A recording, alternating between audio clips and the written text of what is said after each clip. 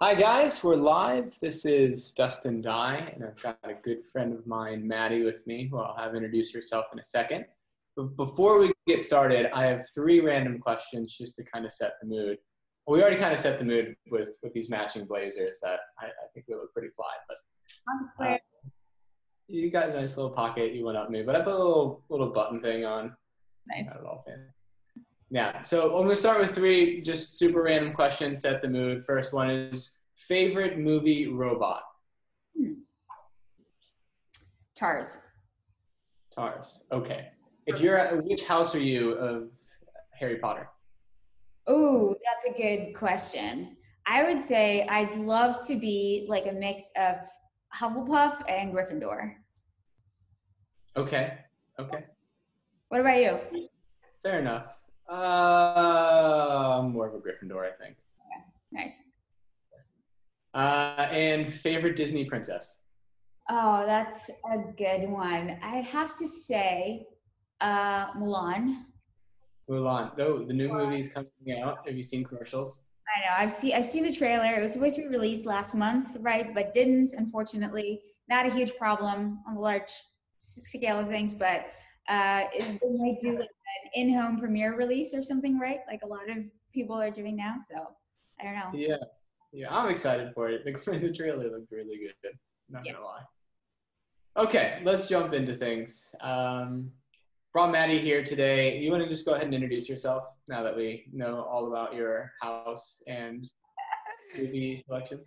That really is the most important information. But yeah, I'm I uh, uh, I'm a senior uh, AI evangelist now for Rasa, uh, but I'm also a machine learning engineer, and I've been spending a few years building ML-driven products um, for the enterprise. Well, it's good to have you here. Do you want to talk? Let's let's kick things off because you've been in the space for a while now as well. Can we talk about from like 2016, where there was a ton of bot hype, to now you're working with Rasa. You know, use space is is growing, and just like what what's going on?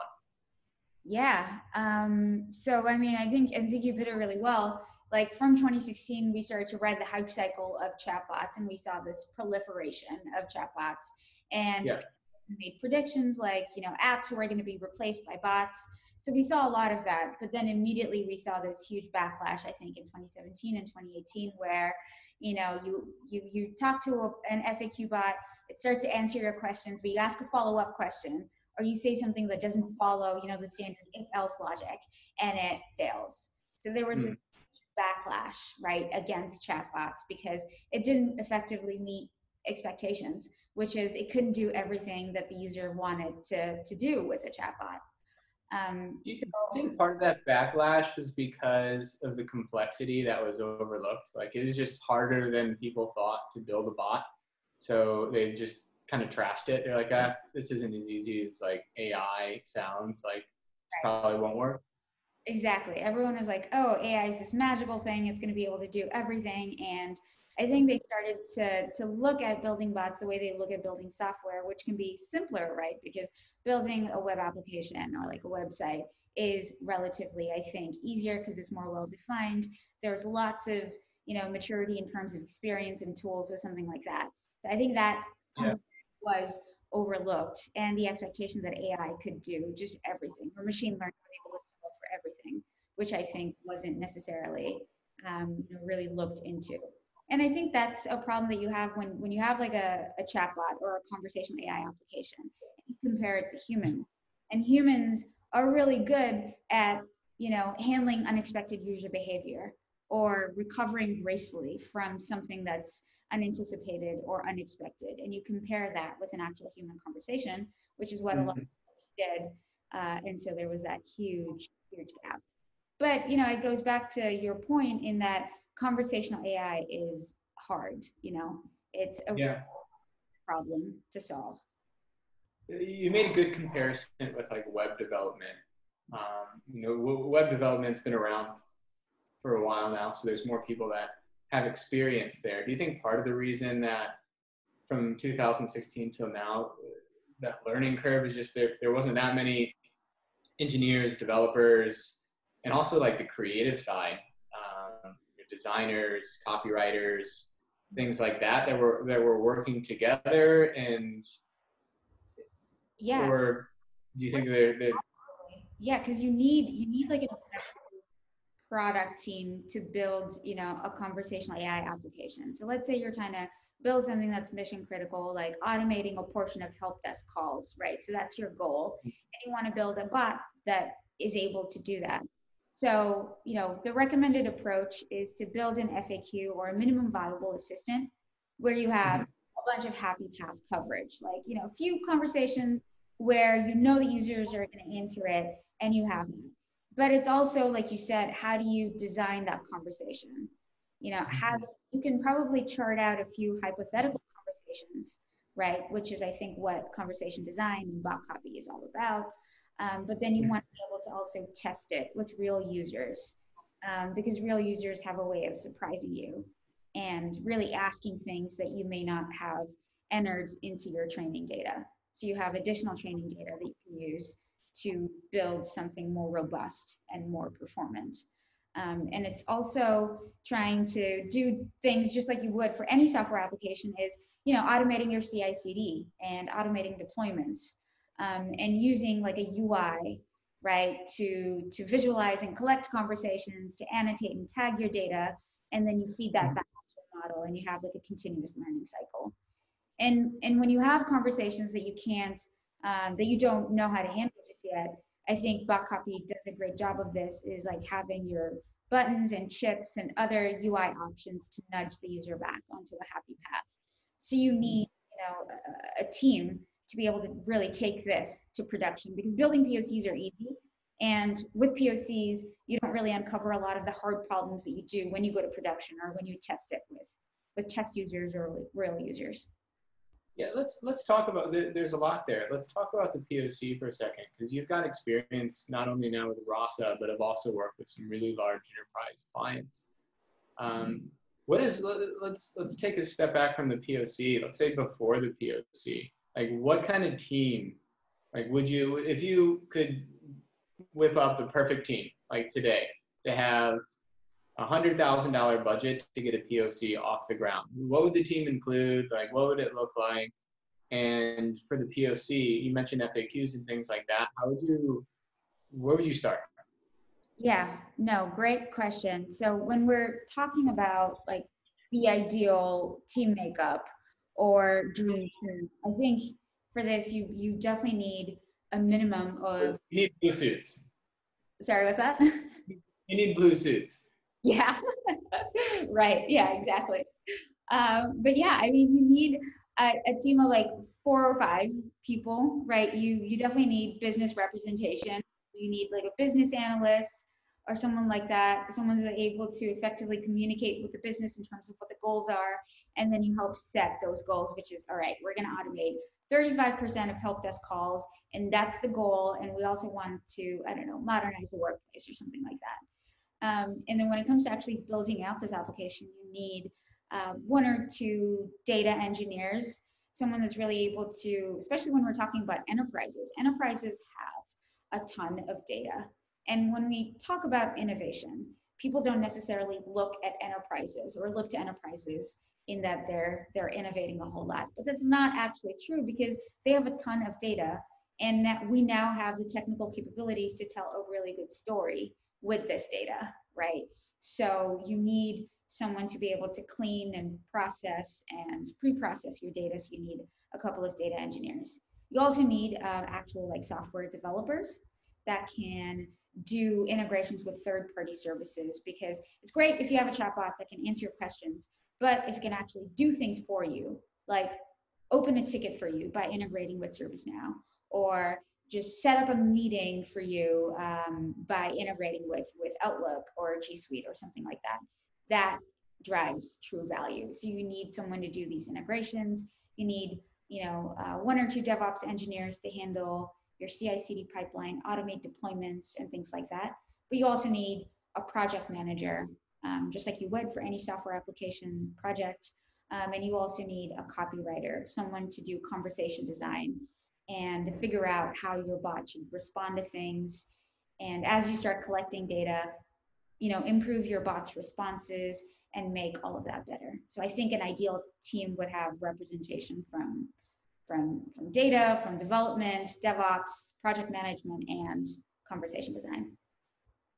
Yeah, when, when before the POC, like you, are getting it kicked off, what kind of data sets typically do you look at? with with bot copy, um, so we're focused primarily on the like website and front end. So sometimes that design is going to be a little bit different than if you're gearing up for like a voice assistant that's only going to be on speakers or maybe even a Facebook Messenger that might have more of a marketing play. But what what have you see, typically seen? Like where do they start? We've looked at like calls that have been recorded for quality purposes, emails we've gone through to try to get a general feeling of the FAQs. But where, where have you started? Yeah, I mean we've so when after we have like an initial goal of doing something, whether that's like automating a portion of these help desk calls or maybe increasing your cart abandonment rate by like percent, which when you're talking about like a large retailer, that can be you know huge in terms of cost saving and you know revenue and productivity and things like that. So after you have your goal, which will be the purpose of your bot, we start looking at um, call center recorded conversations. We look at emails, just like you said. We also try to study, you know, the team's behavior. Uh, if it's a help desk assistant that's supposed to, you know, answer routine technical issues. In addition to looking at what the most common issues are that the current help desk deals with, you know, what are uh, the things that the help desk team works on on a day-to-day basis that is repeatable that you could automate with a chatbot, um, allowing the help desk team to focus on like L2 and higher priority uh, cases that definitely need human intervention. Um, you know, if you're talking about like e-commerce, you know, what is it that customer service representatives do on a day-to-day basis that is repeatable that if you could automate very easily and seamlessly would allow them to focus on on you know things that aren't mundane and things that actually need human intervention. So we also study, you know, the team's behavior and figure out what we can automate. That's you nailed it. One of my favorite things about some of the bot projects that we've seen is not that it is necessarily replacing jobs. It's it's moving people into a new job or a new opportunity. It's like the, the mission critical things that you were you were talking about, or if you're answering repetitive tasks, now you can put you can jump on a call that actually needs more of a human response and understanding, like something went wrong, or um, a lot of the times like dealing with money and, and, and transactions like that sometimes really needs like a um, human on the other line. It just makes it a little more feel a little more secure. What if uh, when you see bots, and we talked about this a little bit earlier, but bots that are designed to have strong human and, and live chat handover versus bots that have been created to be almost 100% deflection like what's what's like a good point? When is do you hand off the baton a little bit too early maybe to a live chat team where the bot can handle that? And how do you kind of work to a point where it just gets a little bit less and less? What, what have you seen in that? Yeah no that's a really good question because i, I don't think we have uh, i think we're trying to solve that balance and that problem together. And mm. every you know every every few weeks or so months or so we like learn something new when we start to collect feedback that tells us, okay, we can probably hand this task over to a bot too, right? Um, and you know, Alan and Alex, uh, the CTO and CEO of Rasa, like to talk about how if you really want to build um, a good bot, you have to build one first. And I think true, and that's what we've seen in my experience even before I joined Rasa, is that you want to be able to create an a minimum viable assistant that let's say it's a help desk assistant. If it can answer top 10 questions that people ask it. And if it can do like the top one or two things that people need solved if it's like opening a ticket or something like that that was pretty popular. So that's the example that comes to mind is that all right so this bot can answer these 10 questions and it can open a ticket for you. And that's good you know it doesn't have to be perfect before you release it to really real users and like release it to production. Because you only learn how you can improve it based on the conversations that you get based on how it fails and based on you know the feedback that you get so i would say like release it as soon as you can don't wait until you think it's perfect uh, because then you have a great opportunity to make those improvements because uh, it's our guiding principle that real conversations are, are better than hypothetical ones. So you could come up with lots of hypothetical conversation paths, but it might not it, it might not work or it might not really match real user expectations because people will surprise you and ask you things or um, ask follow-up questions or digress from a happy path and change their mind and say actually no i don't want to open a ticket. Um, so what do you do when you can't necessarily plan for things like that right? So um, so it helps to like hand this over to real users. And when you see something that's mission critical that's failing then obviously you want to hand that over to a, an actual like live agent that can then help solve that problem. Like if it's a refund and the bot doesn't understand what that is or how to do it, um, uh, like you mentioned with like things involving money and things like that, it probably makes sense to hand over to a live agent. Yeah. What, what is what are some of the things that you've seen fail when in POC stage? Like what are the top things that okay, this is this happened, this probably isn't a good thing. We could have avoided it by doing this. Have you seen like a, a common denominator of projects that just didn't do well because of some specific reasoning, or is it a little random, or the team, or just wasn't planned out right? Yeah. Yeah, no, I mean, they fail for a few reasons. The most common ones I've seen is if you don't mm-hmm. have you know an effective team that can do it. Like if you only give it to one or two developers or you know a project manager and you say well this is a low code or no code platform. And so you can probably yeah. put something together and push it to production. We've found that clicking together a chatbot doesn't necessarily work. You do need good conversation design you know and you do need these ui options that can you know, if you click a button, it, it will nudge the user back onto a happy path. And you do need, um, you know, tools that allow you to make your application more robust. So having an ideal team that can build a mission critical assistant is, is important. And when you don't have that, chances are it might not always, you know, work well. Um, some of the other reasons why chatbot projects can fail is if you spend too much time trying to make it better and make it perfect, because that's the way we've been trained to build applications um, is that you want to wait until it is so perfect before you release it to production. And i think that makes sense for like an e-commerce website. You obviously don't want to release like you know a search engine or you know like an e-com shop when it there you know that it's going to fail or when you know that there are so many bugs in it. But and so you can't necessarily use that conventional wisdom when it comes to chatbots because you have to be able to release a chatbot and learn from those real user conversations to make it better.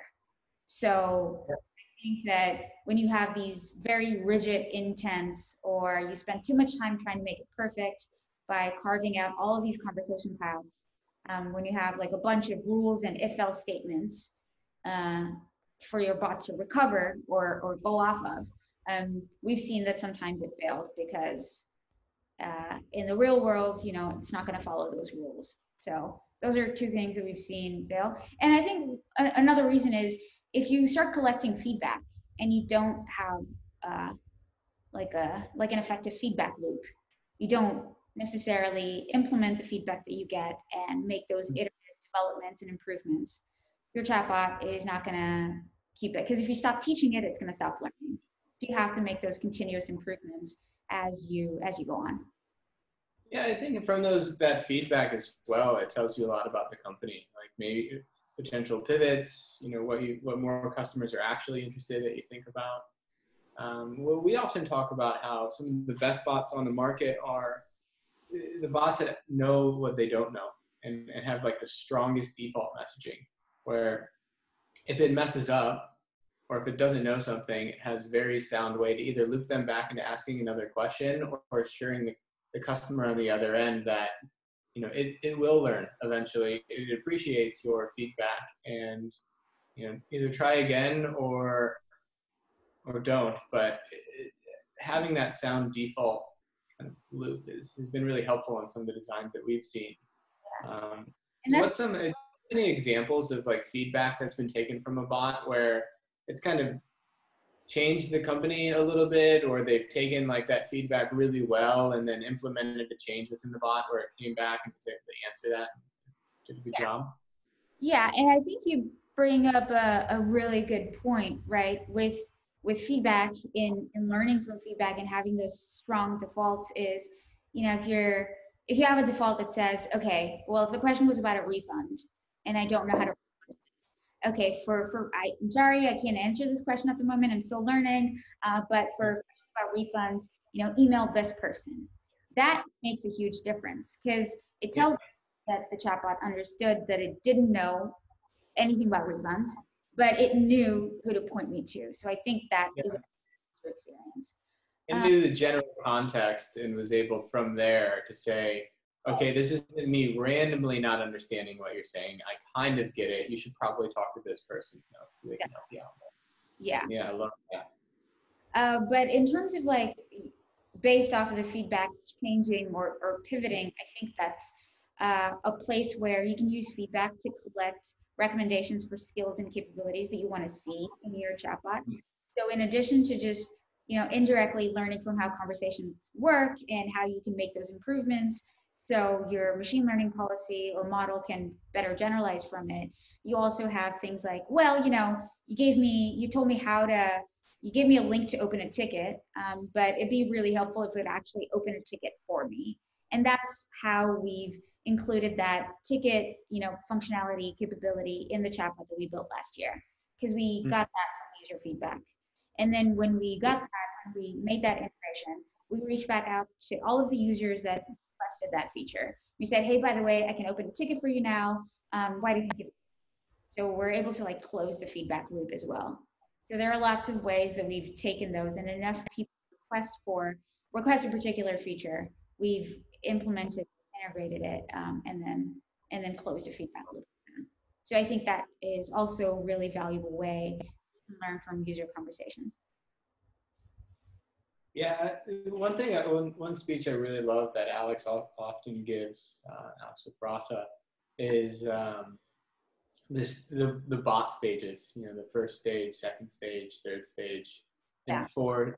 Where like the first is is like just simple notifications, and then the fourth is being able to it actually does stuff for you, and and I love that that that cycle that he talks about. Um, it's spot on. What do you think is next? What, what would you predict? Um, being in Rasa, seeing you know things that oh, a lot of the bigger enterprise clients that you work with, like what what's missing? You know, what's what's the most difficult aspects, even even still today with all the resources around? And where do you kind of see the space going in the next like, two two to five years? Yeah, solid question. Um, I think that I, I did like a lot stuff is missing and a lot of stuff doesn't really work right now, but we can dig into this.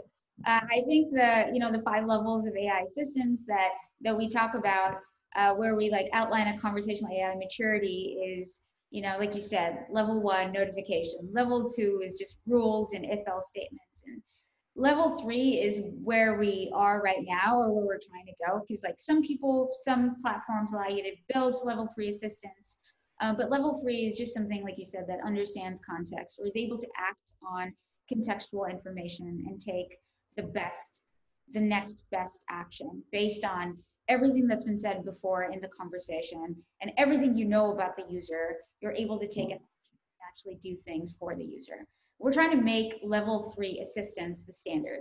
Oh, by the way, speaking of level three assistants, we are super excited to announce our new conference, which is the Level 3 uh, AI Assistant Conference. Oh, uh, so, you know, we'd love to have you, uh, you know, talk. Um, and, you know, it's, it's a free, fully online uh, conference.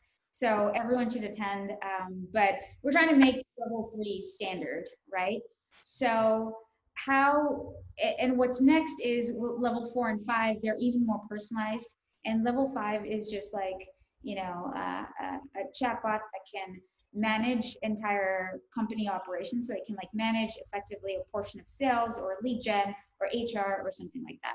We're just trying to make level three the standard right now. Um, so we still have yeah. a long way to go. But what do, you, what do you think is the standard right now? The standard right now is still a lot of level two FAQ assistants that are based off of state machines and that uh, really just function based on on rules. You know, if the user says this, respond with this, and you know, this is what a typical conversation, you know, decision tree looks like, and so it's trained based on just that. So if you don't follow that path, or if you ask something else in the middle of a conversation, it doesn't necessarily understand, and it says, "Sorry, I don't." Understand. I think. Do you think? Do you think the level two sets up the right framework though to move yourself to level three, or do you think you could skip it and just start at three? Because we, we see when we do the trees or have done them in the past, it, it actually provides a good backbone and structure for understanding like what the bot's capable of doing at least in the beginning to work off of. But do you think do you see in the future just starting at three and, and going from there?